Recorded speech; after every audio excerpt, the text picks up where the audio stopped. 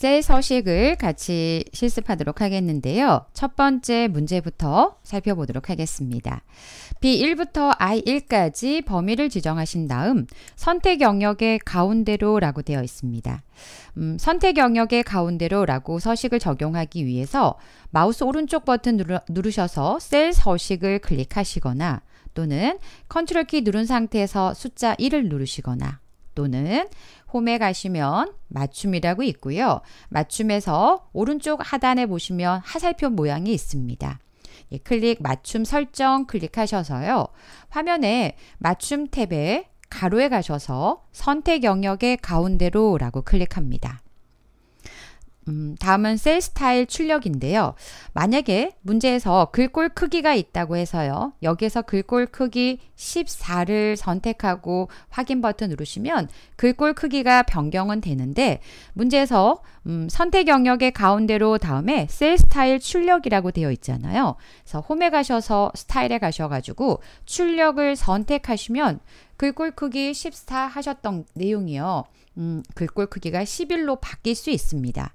그래서 혹시나 14를 먼저 하셨는데 어, 셀 스타일을 나중에 하셨다. 그럼 글꼴 크기 바뀌니까 주의하시고 다시 한번 글꼴 크기를 14를 해 주셔야 합니다. 다음 행의 높이를 30으로 지정하시오. 1행에서 마우스 오른쪽 행 높이 선택하시고요. 값을 30을 입력합니다. 확인 버튼 눌러주시고요. 그럼 첫 번째 제목에 대한 서식 작업을 하셨고요. 다시 두 번째 내용도 어, 제목에다가 앞뒤에 특수 문자를 삽입하라고 되어 있습니다. 음, 커서를 B1셀에 갖다 놓으시고요. B1셀에 상공 유통할 때 상자 앞에 커서를 갖다 놓고 한글 자음에 미음을 누르시고 한영키 눌러서 미음을 누르시고 한자 키 누르신 다음에 어, 특수문자를 삽입하고자 합니다. 특수문자 선택하시고요. 같은 방법으로 매출 현황에 황자 뒤에 커서를 갖다 놓고요. 미음 누르고 한자 키 누르셔서 어, 문제 나와 있는 특수문자를 삽입하시면 되겠습니다. 다음은 I2셀에 커서를 갖다 놓으시고요. I2셀의 날짜는 간단한 날짜 형식으로 표시하시오 라고 되어 있습니다. 간단한 날짜로 표시하고자 합니다. 홈에 가시면요. 표시 형식이 있고요.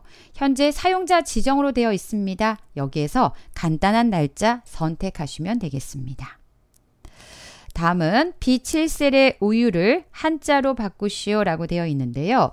B7셀 우유를 음, 범위를 드래그 하셔도 되고요. 뒤에다가 우유 뒤에다 커서를 갖다 놓고 어, 마우스 클릭하신 다음 깜빡깜빡 하시면 아시, 아, 깜빡깜빡 할때 한자 키 눌러서요. 바꾸고자 한 한자 선택하고 변환 눌러주시면 되겠습니다. 다음은 C5부터 음, C6까지 선택하시고요. 사용자 지정 표시 형식을 이용해서 문자 뒤에다가 맥주를 표시하고자 합니다. 범위 정하신 다음에 마우스 오른쪽 셀 서식이나 또는 어, 홈에 가셔서 음, 표시 형식이니까요. 어, 표시 형식의 오른쪽에 화살표 클릭하셔서요. 옵션을 클릭하셔서 표시 형식 탭에 사용자 지정에 가셔서 현재 표시가 되어 있는 게 문자입니다. 문자 뒤에 골뱅이 뒤에 맥주라고 붙여서 표시하겠습니다. 라고 표시하실 텍스트 맥주라고 입력하시고 확인 버튼 눌러주시면 되겠습니다.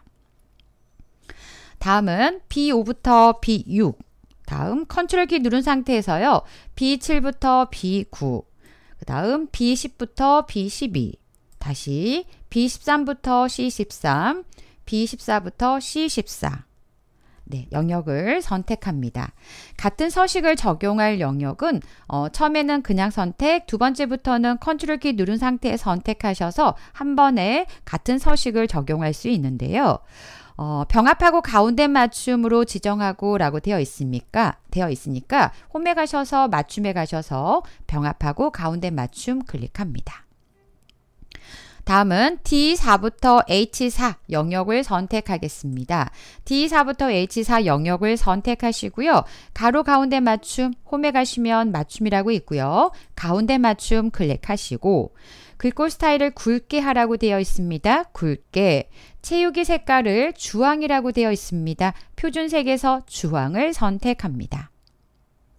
다음은 D5부터 H12 영역을 선택하시고요. D5부터 H12 영역을 선택하신 다음 사용자 지정 표시 형식을 이용하여 어, 범위 정하신 다음에 마우스 오른쪽 셀 서식 또는 어, 표시 형식이니까 홈에 가셔서 표시 형식의 오른쪽 화살표 누르셔서요. 사용자 지정을 클릭합니다. 사용자 지정 표시 형식을 이용하여 숫자 왼쪽에다가는 삼각형 기호를 표시하겠습니다. 어, 한글 자음의 미음을 누르시고 한자 키 누르셔서 삽입하고자 한 삼각형 선택. 그 다음 큰 따옴표 처리하시고요. 어, 숫자 왼쪽에 삼각형 기호를 셀 너비의 오른쪽에 천단위 구분 기호와 숫자 뒤에 개자를 표시하시오. 그러면 왼쪽에는 삼각형 기호, 그 다음에 셀, 셀, 랩, 셀, 셀 너비의 오른쪽에다가 그러면 어, 특수문자와 오른쪽에 표시할 숫자 사이에 약간의 공백이 생길 수 있죠. 그 공백은 별표를 입력하시고요. 별표 뒤에 오는 내용을 반복할 수 있는데 한 칸의 스페이스를 띄워주시면 어, 공백을 반복해서 표시할 수가 있습니다. 그래서 sharp 콤마 샵샵 0이라고 입력하시고요. 그리고 나서 원자를 붙여서 표시하겠습니다. 라고요. 표시, 아, 원자가 아니라 개자를 붙여서 표시하겠습니다. 라고요. 개를 입력하시고요. 서, 오른쪽에 천단위 구분 기호와 개자를 표시하겠습니다. 라고 어, 입력하시고요. 그리고 나서 확인 버튼 눌러주시면 되겠습니다. 네, 다음은 음, D4부터 D14부터 H14라고 되어 있는데요. D14부터 H14 영역을 선택하신 다음 솔수 둘째 자리까지 표시하시오라고 되어 있습니다. 어, 표시 형식의 자릿수 늘림을 이용하셔도 되고요. 또는 표시 형식의 옵션을 클릭하셔서 숫자에 소수 이하 두 자리까지 표시하겠습니다. 라고 어, 숫자에서 서식을 지정하셔도 되고요. 또는 표시 형식에 오셔서 사용자 지정에 오셔갖고요. 숫자를 대신하는 기호 샵 또는 0을 입력하시고 그 다음 뒤에 소수 이하 두 자리까지 표시하겠습니다. 라고 어, 0을 두 개 입력하시고 확인 버튼 눌러주셔도 되겠습니다.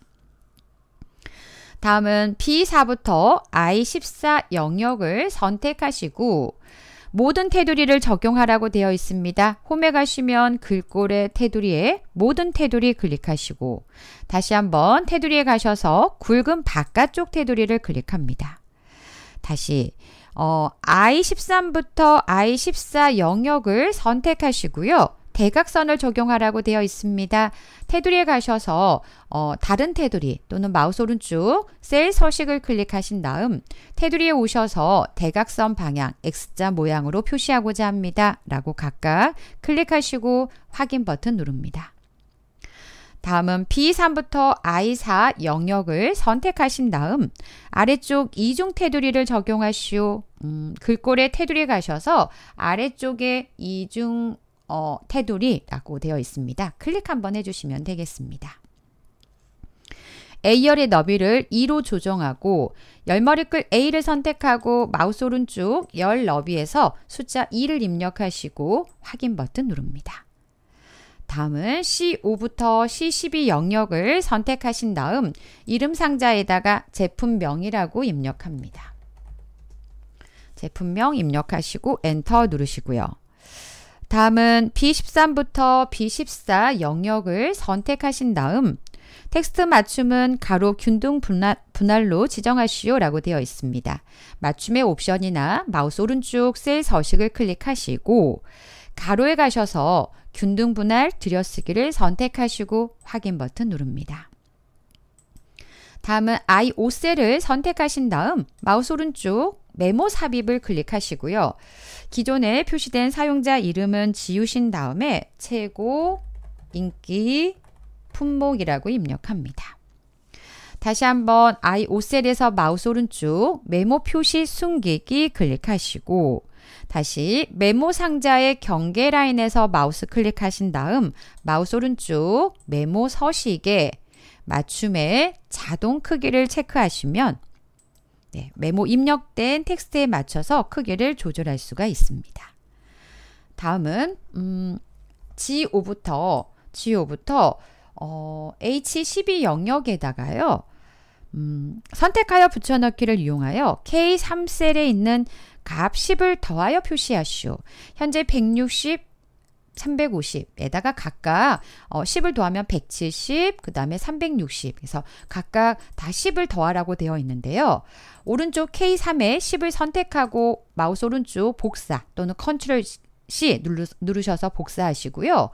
음, G5부터 H12 영역을 선택하신 다음 마우스 오른쪽 선택하여 붙여넣기 클릭합니다. 선택하여 붙여넣기 클릭하신 다음에 문제에서요. 어, 값을 값을 선택하시고요. 만약에 모두를 선택하시면 지금 적용해 놓으셨던 서식이 바뀔 수 있습니다. 그래서 꼭 값을 선택하시고 그 다음 조금 전에 복사한 내용을 더하기 하겠습니다. 라고 더하기를 아래쪽에 연산해서 더하기를 선택하시고 확인 버튼 누르시면 네, 10 을 각각 선택한 어, 범위 정한 영역에 10씩을 더해서 결과로 표시된 걸 확인할 수가 있습니다. 실습하고 나서 결과 시트 클릭하셔서요. 맞게 작성이 되어 있는지 확인해 보시면 되겠습니다. 셀 서식은 어, 2급 실기에선 기본적으로 음, 기본 작업 다시 2번 시트에 다섯 문항의 문제가 출제가 되는데요. 저희는 이제 시험에서 출제되었던 예제들을 가지고 예제를 구성해 봤습니다.